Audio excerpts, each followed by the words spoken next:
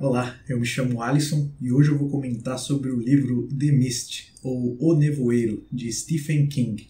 E olha, eu tenho que confessar que eu não sou lá muito fã de Stephen King, viu? Eu sei que é, para muitas pessoas né, ele é considerado como o maior escritor aí de todos os tempos, né, de horror, etc. Uh, mas eu tenho que dizer que a maioria dos uh, livros né, que eu acabo conhecendo assim dele acaba não me prendendo tanto assim. Porém, não é o que acontece com este livro aqui, O Nevoeiro, que, se eu não me engano, a primeira vez que eu tive contato com essa história, eu ainda era pequeno. Eu lembro que eu e a minha mãe, né, a gente costumava ir em videolocadora na época ainda, para você ter noção, né? ainda existiam as videolocadoras. E a gente sempre alugava algum filme, né, toda semana para assistir. E eu lembro de a gente ter alugado o Nevoeiro, o filme. Então, o primeiro contato que eu tive foi com o filme. E logo no filme eu achei sensacional, sabe? Aquela, todo aquele universo, né? tudo que ocorre ali na, naquela história.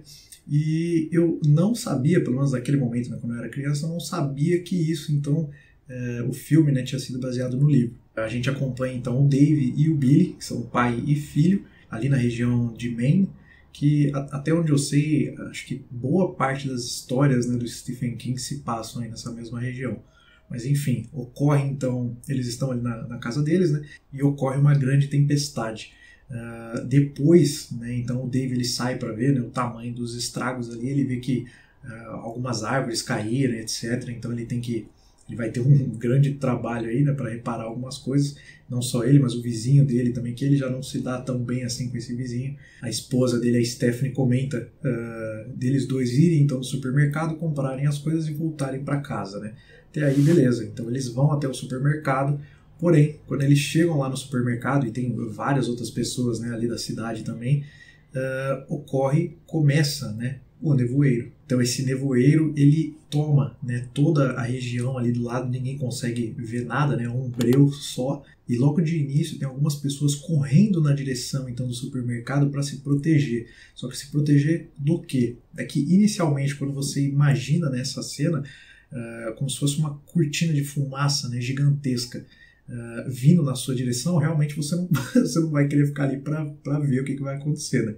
Então as pessoas fogem. Só que depois de um tempo, algumas pessoas tentam né, sair achando que uh, não é nada demais e alguns problemas começam a acontecer. Como, por exemplo, algumas dessas pessoas não conseguindo voltar. Aí então a gente vai acompanhar toda essa questão de sobrevivência, né, de como fica o pai tendo que cuidar do filho, ao mesmo tempo que tem várias outras pessoas ali nesse mercado. Uh, você tem pessoas com um pavio mais curto né, do que outras, algumas pessoas sem muita paciência. Você começa a ter grupos né, que vão se formando a partir do momento que eles começam a entender um pouco melhor ali do que está acontecendo. Mas o principal que vai ter a todo momento é o medo do desconhecido. Né?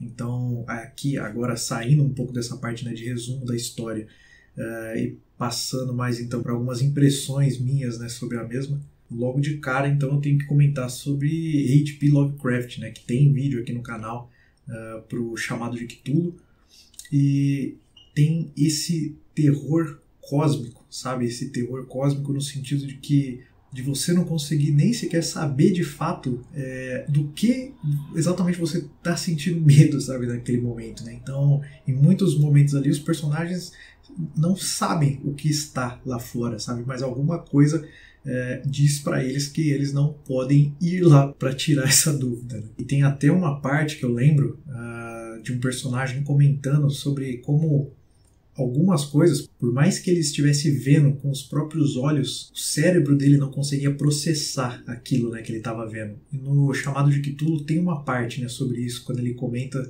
sobre como a mente humana não conseguiria absorver a ideia né, de um ser como aquele. Então, nesse sentido do terror cósmico, né, algo que é, que é muito além de qualquer coisa né, que a gente possa imaginar. E outra coisa que eu tenho que comentar é um grupo religioso né, que acaba se formando aí no meio dessa história.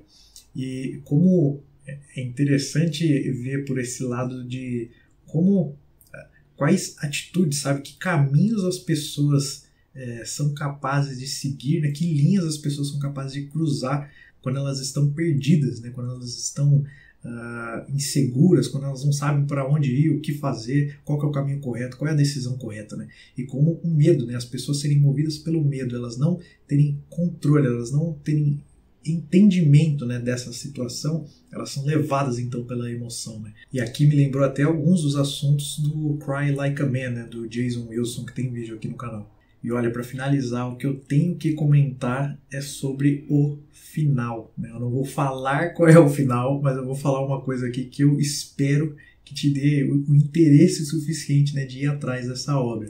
Uh, o final do livro é diferente do filme, tá? Então isso foi uma coisa que me surpreendeu, né? Como eu tinha assistido o filme antes, eu imaginei que fosse o mesmo final.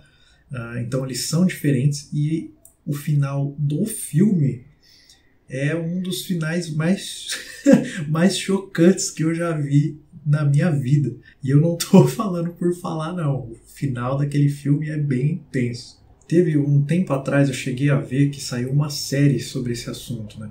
Uh, eu não lembro se era na, na, Netflix, onde era, vou tentar achar um link e colocar aqui. Uh, mas eu lembro que eu, eu, cheguei a tentar assistir a série, mas logo no primeiro episódio eu vi que a série não ia funcionar muito bem para mim, sabe? Então eu, eu já abandonei logo no primeiro episódio. Então eu prefiro continuar com o filme e o livro. Bom, e o livro, na verdade, eu ouvi ele como audiobook pela Storytel, então vou deixar um link aqui na descrição também. E como eu falei logo no início, eu gosto bastante dessa história aqui até o momento é a história que eu mais gosto do Stephen King. Eu sei que ela aparece como um conto em um dos livros ali do Stephen King, que é a Tripulação de Esqueletos. Eu vou deixar um link aqui também na descrição.